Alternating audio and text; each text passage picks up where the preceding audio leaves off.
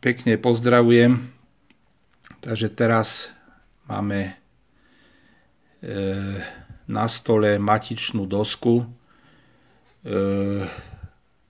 notebooku Compaq alebo tiež už HP NC6230. Ako vidíme, tu je vstup, čiže zásuvka sieťová.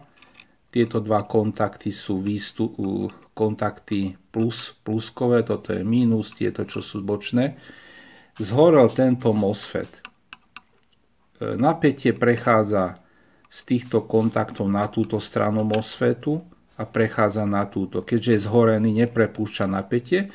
Urobil som opäť takýto jednoduchý bypassík, červený drátik, ktorý ide od zásuvky priamo na výstup MOSFETu a potom pokračuje ďalej na ďalší MOSFET. Čiže tento jednoduchý zákrok umožňuje opravu.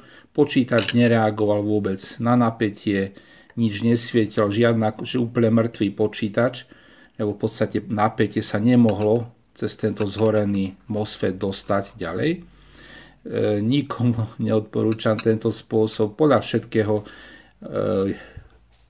tento jednoduchý spôsob opravy e, znemožňuje nabíjanie batérie. Tá batéria už je tak zlá, že počítač bude normálne fungovať na tlačítko power, takže len na vlastné rizika, keď chce niekto si takto opraviť počítač.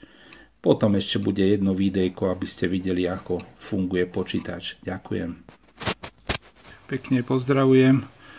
Tu je už vlastne poskladaný notebook a ja sa ospravedlňujem názva počítač HP Compact NC6320. Je tam procesor dvojadrový, vidíme, že 1833 MHz. Ako som hovoril, e, asi nabíjanie batérie nebude fungovať. Vidíme tu takú čiaru cez stred. To není problém grafiky, ale e, displeja. Skúšal som to prepnúť na externý monitor, tam tá čiara nie je. Čiže toľko k tomuto počítačiku.